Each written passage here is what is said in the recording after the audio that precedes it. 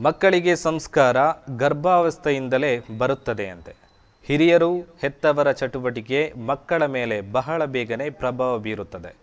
ಮತ್ತು ಮಕ್ಕಳು ಅನುಕರಿಸುತ್ತಾರೆ ಕೂಡ. ಈ ಸಮಯದಲ್ಲಿ ಮಕ್ಕಳು ಕಲಿತ ಸಂಸ್ಕಾರವು ಅವರ ಜೀವನದುದ್ದಕ್ಕೂ ಪ್ರಭಾವಿಯಾಗಿರುತ್ತದೆ. ಇವತ್ತಿನ ವೈರಲ್ ಸೆಗ್ಮೆಂಟ್ನಲ್ಲಿ ಪುಟ್ಟ ಕಂದಮ್ಮ ತಾನು ಕಂಡ ಅಥವಾ ಪ್ರಭಾವಕ್ಕೆ ಒಳಗಾದ ದೃಶ್ಯವನ್ನು ಅನುಕರಿಸುವುದನ್ನು ಕಾಣಬಹುದು.